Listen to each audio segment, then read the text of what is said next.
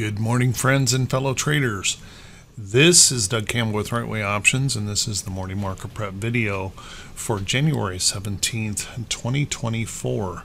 Well, I apologize. I still have a bit of a weak voice, but I am feeling quite a bit better today. Um, big shout out to my good friend um, Ed Carter, who took over for me yesterday and um, allowed me to get a little bit more rest and heal up from this ugliness. Let's take a look at what happened overnight here. We had some interesting moves in the market with some data that obviously was not very favorable.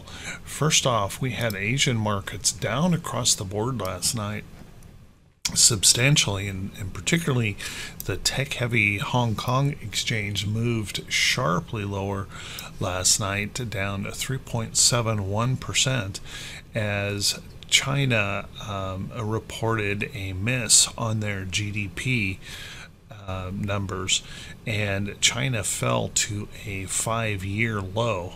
So, a little bit of pressure um, continuing to show over there in the Chinese markets and really pointing to that issue of a weakening consumer and a slowing economy around the world.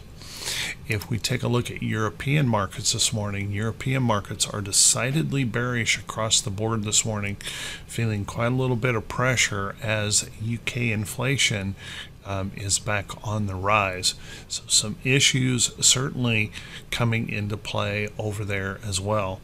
Looking at US markets here this morning, we are also decidedly bearish, but we're already trying to bounce up here in the pre market, and it's only 5:41 a.m. and we're already trying to get a little bit of a pre-market uh, pump going on here.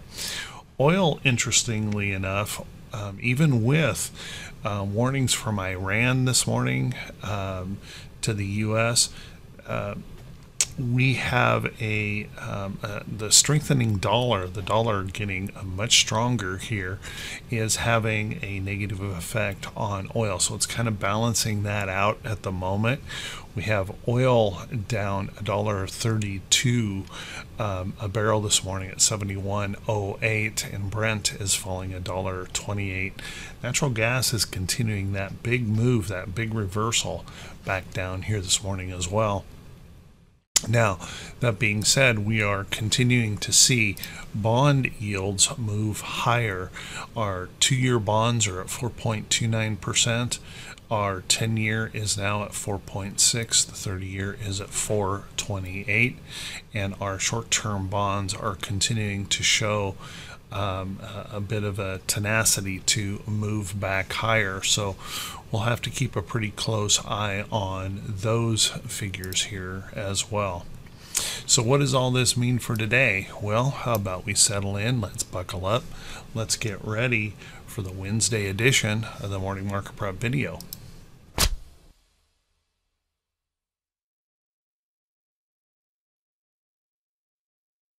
Good morning once again, everyone, and thank you so much for being here. Once again, I apologize for this weak voice. Hopefully, it's not coming across too terrible this morning. Let's take a look at these uh, index charts and see if we can gain a little bit of information about how we may want to approach the market for today. Well, clearly yesterday was a little bit on the bearish side, pushing down, and unfortunately, what we're experiencing right now is we're experiencing some very big point swings. And those swings are because we have just uh, been so relentlessly bullish here in the market that is creating some painful moves as we pull back. Now, looking at the diamonds chart, you can certainly see that there's nothing wrong here with this chart. We continue to maintain a, a quite bullish stance here, holding into this longer consolidation in the market. And if you'll look right in here, yesterday we did break down just a little tiny bit below the low of this white candle right here, where we had popped lower here in the market and now we're gapping a little bit lower here this morning. So our next level to potentially test if the bears continue to fight would be down here in this area of the chart. See if we can push down toward that black candle uh, bottom and if that were to fail well then just kind of keep in mind that we could come on back and we could retest that all-time high breakout here this year on the diamonds. Now, if the bulls reject that, if we can bounce off of this area and push back up, if the bulls reject, first thing I'm going to do is uh, push this up here and say, well, a retest of this resistance up in this area would be the most likely um, area for that bounce back. And if we can break back through this area of resistance, then of course we have that potential. We can move right back up here, retesting these highs. So keep a close eye on the diamonds here. Um, I, I, suspect we could um, see a little bit of a painful uh, type move today if those bears really grab a hold. If we take a look at our SPY, SPY has been one of those elusive uh, things here, getting that all-time high even though big tech is doing everything it can to uh, push this up and break it out. It's just not happening. There's more stocks in decline than we've had moving up. And as you can see here in the SPY, kind of given up this trend, but I don't think this is terrible yet. There is that possibility that what we're looking at here is a double top. We'll want to watch that carefully. You can see um, we're gapping back down here this morning after that afternoon rally back, trying to decide whether or not um, there is some major concerns or consequences um, in our economy. So watch that carefully. If the bears continue to push, if I pull this back over here, you'll see that this is a support area in the chart that goes all the way back here into 2021 and then of course into 2022 where we had multiple highs right there in that area. So keep an eye on that if the bears really push us on down, maybe a test down in here. Now breaking that area is where it could get really nasty. If we were to pop down through there, then I do think there's a possibility we could come on down and maybe test some of these lows here in the chart, which would be a relatively big point move and probably would raise a little fear here in the market. If the bulls can can reject and we can hold this area of price support right in here, then a retest back up in here certainly seems like a likely possibility our QQQ may have a little bit of a rough day today just with the big moves that I'm seeing in Hong Kong here on tech. And we do want to notice that possibility of this topping pattern here as well. That certainly is a potential of a top. Now, you can look at that as a double top, but I look at that, I favor that little bit of a lower high in here on, um, uh, on the QQQ, but it's not bad yet. As a matter of fact, this still sets up as a relatively good bullish potential setup because we broke down through support, we've crossed back up, and now we're holding in this area to hold it as support. So, if the bears if the bears push this on down and you can see they're already trying to pump this back up in the pre-market if they can hold this area of support we're probably in good shape and we would retest these resistance levels up here in the QQQ but if the bears grab a hold of this and push on through the real worry would be if we break that support. Breaking that support would probably raise some fear in the market. We might come on down and test that big black candle right in here as a low and then um, yeah, we could even sink um, that far in the chart coming on down here to this bigger major area of the NASDAQ and you can see that situation that we're dealing with is we have pushed stocks to virtually perfection in their pricing. And now we're starting to see in these earnings, at least from the big banks, that, well, they're not as they're not as stellar as we would like them to be. So just be a little bit careful here um, in these charts. Again, if the bulls though hold in this area, no harm. Pushing back up here to test these resistance levels look like a possibility, and we're not out of the realm of a good strong push to the upside that could break those resistance areas. And then if we look at IWM, IWM, well, IWM is showing us more of a problem here, as you can see, breaking support, breaking trend, and we have officially uh, put in a lower high here on IWM. And that possibility that we have drawn out that inverted head and shoulders pattern that I've been drawing on the chart here for the last couple of weeks. So we'll want to watch that carefully. And here this morning, we're pushing down to test this area of price support in the chart. If the bears push on through there, well, you can see there is a level right in here that we might be able to pick up a little bit more price support. So watch carefully for that. If the bulls, however, find inspiration here today, we could bounce up off of here. I would look for a retest of this resistance area up here first. And if we can break back through there, right back up here to this trend break here in the chart. By the way, it's time to turn this red because that now becomes a significant resistance in the chart with that failure here. Um, we held it as resistance and continued to push lower. So keep a close eye there. Let's take a look at our VIX.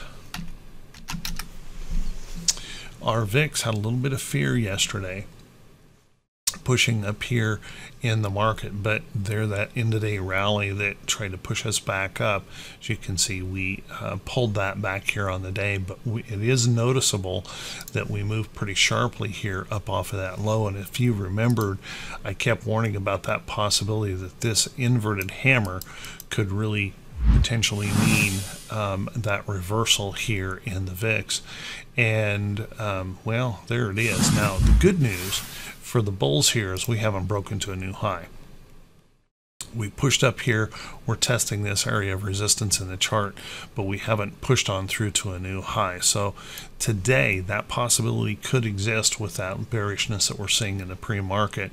Watch that carefully here if we were to push up on higher, making a higher high that's where things start to get maybe just a little bit concerning for the bulls and um, well that's where you start to see that uncertainty really start to creep up in the market. So watch that carefully here in the VIX. It seems that the the uber confidence um, here in the market may be slipping just a little bit. And then if we take a look at our uh, T2122, now this might be one of our best hopes of a relief rally here soon, and that is T2122, as you can see, pushing back down here into this bullish reversal zone here. Um, so watch that carefully with this potential move down this morning. We'll be down here likely pretty close to the bottom of this move. Now I will warn you that oftentimes when we linger up here for a long period of time, we can linger down here for a period of time. So that uncertainty is starting to creep up here in the market. So watch that carefully. This doesn't necessarily mean we turn right around and bounce back up. It could mean that, but it could also mean that we might linger here just a little bit as we continue to sort out the details of the geopolitical situation uh, causing issues, and of course, uh, well, maybe uh, some problems with inflation um, continuing to be an issue for us here um, in the market. Let's take a look at our uh, T2108.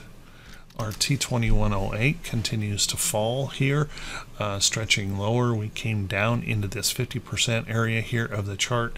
Now, I will tell you that this honestly is probably a healthy thing uh, for the market. This pullback here um, into this mid area of the chart, and this there's an awful lot of price support in here. So, if we can find some bullish energy here today, this would be a pretty good reason for us to get a relief or a bounce back up here in the chart. But we also want to keep in mind if we continue to sell, if we were to break down through these support areas of the chart well, again, that could raise some fear in the market, and we could see a lot of folks kind of running for the door all at the same time. And I think the big question that we're going to have to answer here before too long is are we going to maintain um, uh, this bullishness in the indexes based almost solely on seven stocks? If we do, what that's telling us is we've got far more stocks selling off than those seven majors that are continuing to hold us up. If, if just imagine if something happens in those seven majors and they start to see some selling, um, how damaging that could be to this market. Let's fingers crossed that doesn't happen, but we'll want to watch that pretty carefully if we were to take a look at our uh, T2107, now T2107 continuing to push back. We um, failed a little bit of price support here in the chart, but I don't see anything tragic here just yet.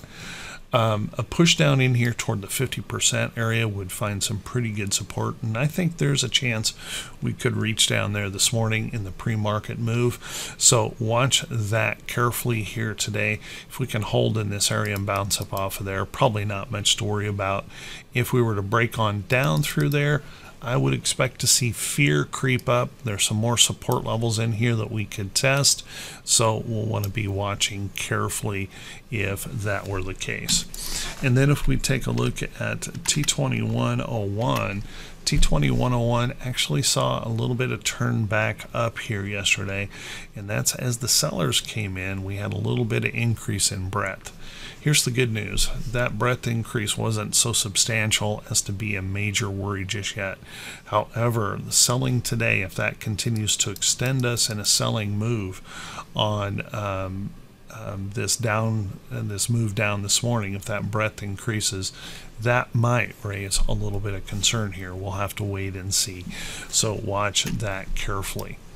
Let's take a look at our um, economic calendar here for today. And our economic calendar, well, yeah, it's a little bit of a busy one here today. Uh, we've got quite a bit going on this morning with mortgage applications coming in this morning and retail sales. Now, that's going to be a big one for us here today. Retail sales. Um, um, they're expecting that to come in here at a 0.4. Um, they're looking X vehicles to stay flat, and they're looking at X vehicles and gas to decline. So watch that carefully here today. We'll see if that Christmas shopping was as strong as uh, we had hoped for. So watch that carefully here on retail sales. After that, we've got import export prices that we'll want to be keeping an eye on. They're looking for some negative numbers coming in here on that we've got two Fed speakers here today, and that could be interesting with some of the numbers that we've seen here recently. Um, you know, particularly this Empire State number. This was horrible. I mean, absolutely horrible. They were expecting a negative 4.7. It came in at a negative 43.7. I mean, holy cow. That's showing our manufacturing is in a terrible situation at the moment and is continuing to indicate that slowing economy. Now, if we take a look, we're going to have industrial production here today. They're expecting that number to come in at a negative 0.1 from a 0.2, so a decline there. Um, hopefully, we don't get a big surprise on this like we did in that Empire State number manufacturing output at 0.0 declining and we're seeing capacity utilization and a potential decline based on consensus. So again maybe a slowing economy. We've got business inventories coming in. They're looking that coming in at a, zero, a negative 0.1 from a negative 0.1 last time kind of flat. And um, those business whoops already did that. Um, we've got the Atlanta Fed expectations number here today, some bond auctions, the beige book, and we have William speaking here toward the end of the day. So keep that in mind. As you plan forward into Thursday, pretty big day as well here on Thursday. We've got Bostic early in the morning, housing starts and permits, jobless claims, a Philly Fed number, natural gas, and petroleum status will be coming in here on Thursday for some reason. I don't know, uh, probably just because of the holiday. And then we've got Bostic uh, coming in here toward the end of the day, along with some TIPS auctions and the Fed balance sheet.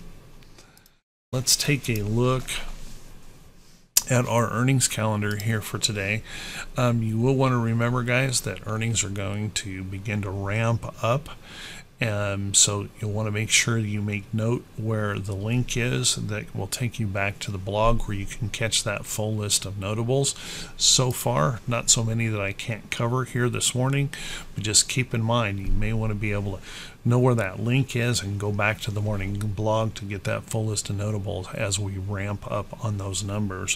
First off, we've got Alcoa here um, reporting today. It looks like moving a little bit lower here in the pre-market Obviously, strengthening dollar also weakens um, anything in commodities pretty substantially. So that's a pretty normal move in that big head and shoulders pattern up here, pushing us down, fulfilling that pattern, coming into a little bit of support. We're going to hear from Schwab today. Um, Schwab dipping just a little bit below this price support in here in the pre-market. We'll want to watch that carefully. We have um, CFG reporting today, also losing a little bit of support here. We're starting to see some concerns in these regional banks uh, pushing back. So watch those closely as we continue to report.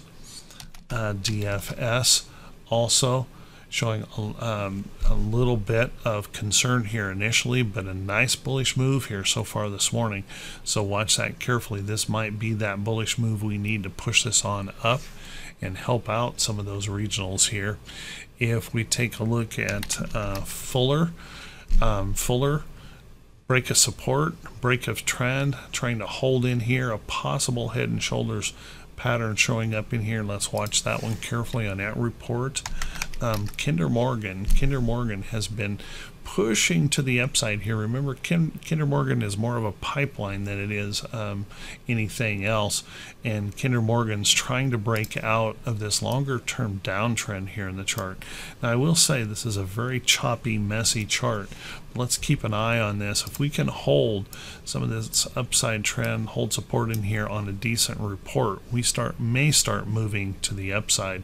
Can't say that's going to be the case, but I think it's worth keeping an eye on uh, PLD also showing a little bit of bearishness here. Real estate trust uh, pushing down here today, trying to hold on to that price support, but showing some double tops and lower highs in here after sliding past its trend.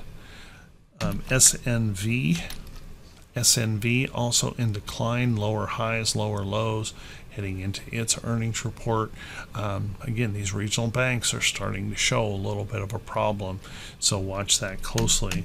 Um, USB, another regional, um, also breaking support here in the chart.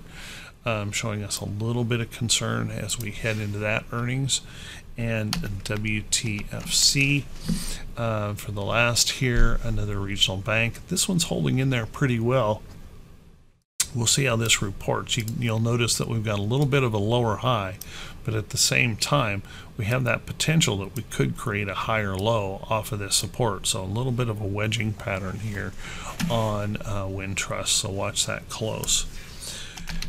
So with that, how about we take a look at a few stocks that could be setting up for today. But before we do that, if you guys could do me this quick favor, if this is the first time you've seen these videos, if you could please click that subscribe button on YouTube and also click that bell icon when it pops up so you'll be notified every time I post a video.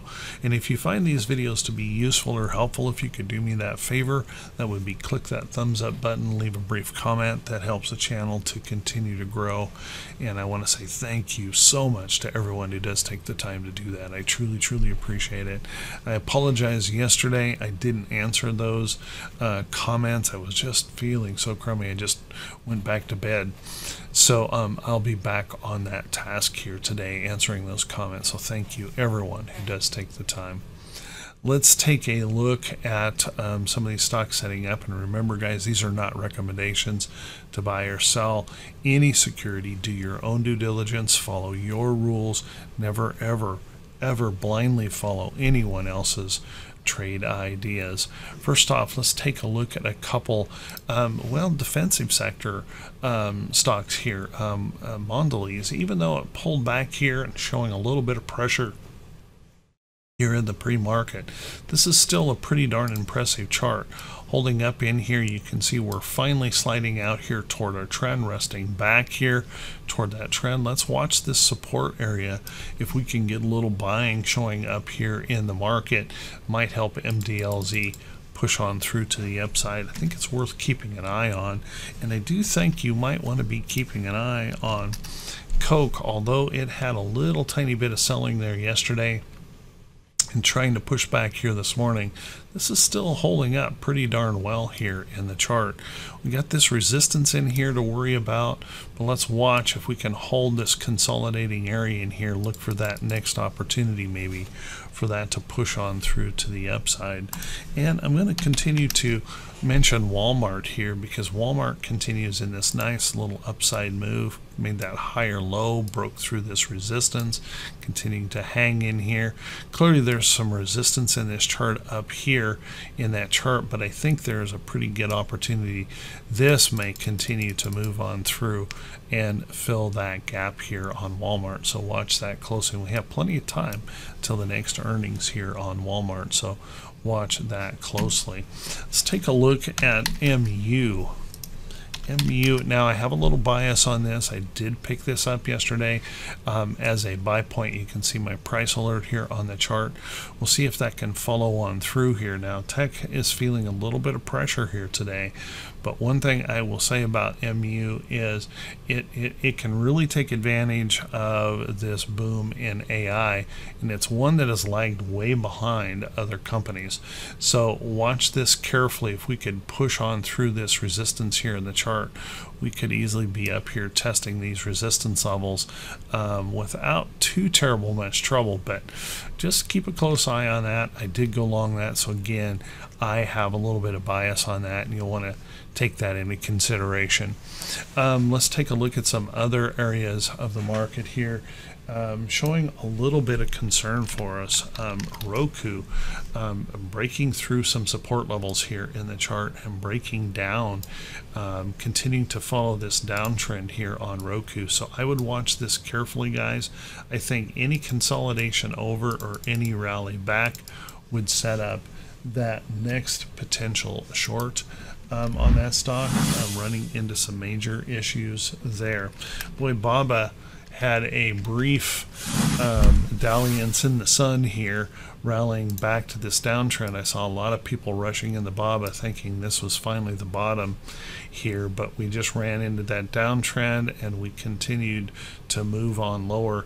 You know, something I say to myself over and over and over again, and something that you guys might find useful as well, when we're rallying back toward a resistance level, it's it's easy to get caught up in that fear of missing out. But the thing that I repeat to myself is how many times do we have to fail right along this trend line before I believe it's true? So kind of keep that in mind. What I usually require is a stock to break out of that trend, hold a higher low, and then show me we can follow through before I get too excited about buying it up. And now you can see what's happening here in BABA. We broke down, tested support, made a lower high, and now we are cavitating here on BABA, continuing to move sharply lower here in the chart. I think there's a chance we could be seeking out this next level down here in the mid to low 60s area of BABA. So watch that carefully if you want to take a short. Um, I'm, I'm also looking at some kind of some disturbing um, patterns here in our refiners. Um, Halliburton breaking support here yesterday, breaking down sharply. Um, Halliburton looks short. Now, on the other hand, uh, Valero, uh, Valero's still hanging in here with that possibility. It tried to move up yesterday and then gave it all back. Watch this little area of support in here. If we continue to break this on down, Could be a problem here as well. And I'm seeing a lot of that in this energy area, a lot of back and forth, a lot of volatility where we've got RIG just really cavitating through a major level of price support. So any rally back here now sets up that next opportunity for a downside move. Let's take a look at a little bit of tech here. AMD had a huge day yesterday, just really popping and finally breaking um, through this resistance here in the chart. And now we're probably going to try and reach up here and test these highs and see if we can break those all-time highs here in AMD. It's another one of those examples where uh, anything in big tech right now, uh, just we just don't care what the prices are and what the PE ratios are. We're just chasing and chasing and chasing. So be really careful in these because if these start to falter, it could have a major impact on the overall markets with if the Mag 7 starts to sell. So watch that closely. And last but not least here today, take a look what happened here in JCI. JCI was looking like this was getting all kinds of setup for an upside move and then talk about being smacked down hard. So what we want to watch here, we've got a little bit of price support in this chart. If we're able to bounce back up off of here, then I would be looking for the next potential short here in JCI bad, bad move yesterday overall. So watch that one carefully. So with that, everyone, I want to wish you all a fantastic day. I want to wish you great results in your trading. Thanks so much for being here. Thanks for listening. I truly appreciate it. And I will see you right back here, hopefully with a bit stronger voice on Thursday. Take care, everyone. Have a great night.